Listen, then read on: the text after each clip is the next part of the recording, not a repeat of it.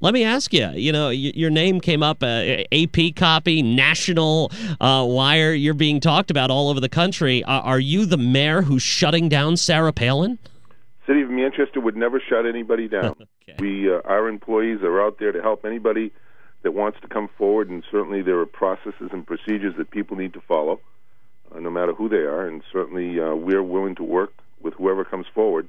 Uh, it was just brought to my attention yesterday, and I told all the departments to to make sure they extend a hand and do all they can to try and work through it. So we're there. We're willing to do whatever we need to do to help people out, but it just can't be taken for granted. When you when you had first heard about this, I mean, there was a lot being written about it. Sarah Palin coming to Manchester, uh, big event in Veterans Park. The Tea Party Express is going to be leading it. Uh, did you hear this? Was this news to you when you when you heard it reported, like the rest of us? It was, yeah. I, I didn't, I didn't. No reason for me to know anything about it.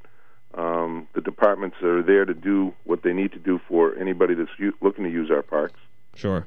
and uh, they were willing to help everybody out. But you know, there's liability insurance that needs to be uh, shown, and the city of Manchester to to be added as an additional insured on it, and those are things that we do for any event that's being held there.